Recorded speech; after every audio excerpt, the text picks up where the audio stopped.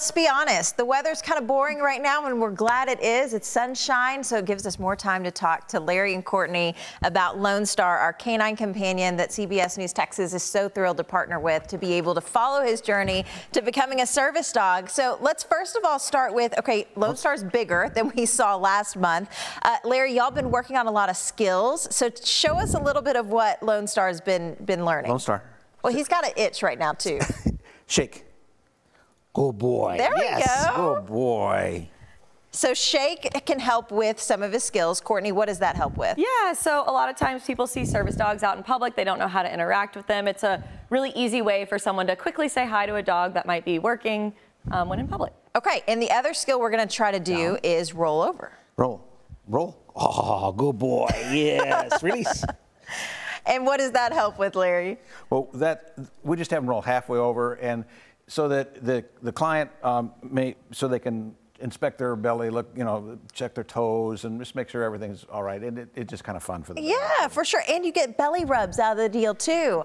So one thing we want to talk about, I mean, Larry, you've you've shared about how this is not your first dog to help raise, uh, but this is something that a lot of folks are interested in. They want to raise a dog to be able to then hand that dog off to hopefully a, a veteran or someone with special uh, needs that has a disability that can benefit from a dog like this. So, Courtney, what are the opportunities out there for folks that want to be involved in raising a dog? Absolutely. We are always looking for more volunteer puppy raisers in the community, and it really can be anybody um, that's willing to take on a puppy and, and raise this dog for somebody else. Um, we have individuals who do it on their own, do it as a family. Um, we also have dogs that are raised in a variety of prison programs, and we need volunteers in the community to help support those programs. Maybe if you can't take on a puppy full time, you can just help um, in between when they're in and out of uh, the prison. We also have college programs, so college students um, here in DFW. We have a handful of high school students who are raising puppies. Okay. So like I said, it really can be anybody. All right, and I know, Larry, you're a little biased, but we know that we've been dipping into some of uh, Lonestar's puppy classes. How do you really think he's doing? Is he taking the right steps necessary? He absolutely is. He's he's maintained his curiosity and uh, he'll he'll try anything I ask him to do. He really is a good dog. And we also know that there is a live puppy cam on some of those training classes. Courtney, this is really cool because you do kind of get that inside look into how training goes for dogs like this. Yes, so we are streaming Lonestar's puppy classes so you can kind of watch and see what our puppy raisers do firsthand.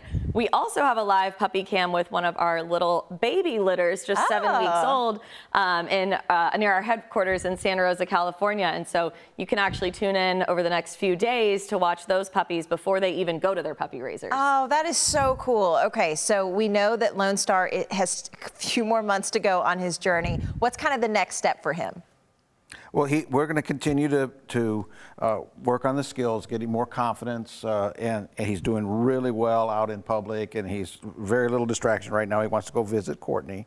Yeah, his, Courtney's one of his favorite people. Well, I can imagine. I can understand why. And, and, we'll be adding, he'll be, uh, in another couple of months, we'll be adding some, some more complex skills.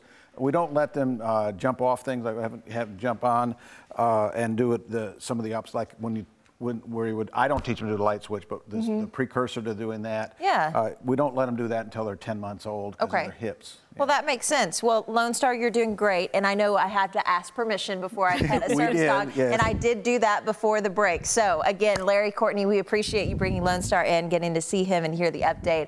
It's always awesome to check in on yep. our canine companions. We'll be right back.